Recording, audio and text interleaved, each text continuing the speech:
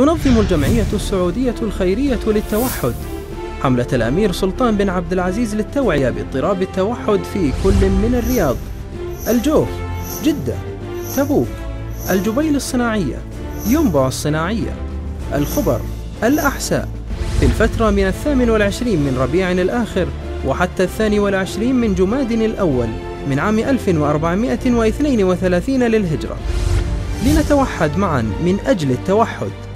مع تحيات الجمعية السعودية الخيرية للتوحد.